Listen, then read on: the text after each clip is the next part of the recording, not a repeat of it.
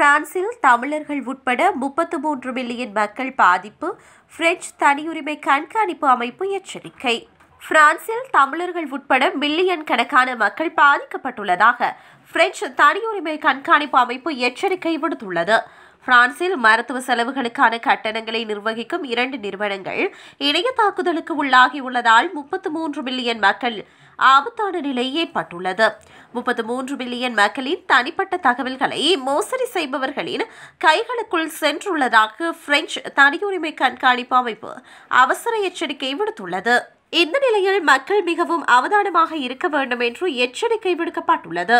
கடந்த இரண்டாம் திகதி நூற்று நாற்பத்தி ஏழு டாப் அப் காப்பீடு வழங்குநர்களுக்கான மூன்றாம் தரப்பு கட்டண முறைகளை நிர்வகிக்கும் வி அமெடிஸ் மற்றும் அல்மெரிஸ் ஆகியவை இணைய தாக்குதலுக்கு உள்ளாகியுள்ளதாக அறிவிக்கப்பட்டுள்ளது.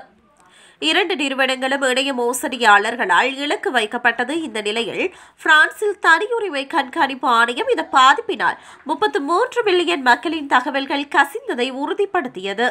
தனிநபரின் அனைத்து தரவுகளும் திருடப்பட்டுள்ளதாக முதற்கட்ட சோதனை நடவடிக்கைகளில் தெரிய வந்துள்ளது.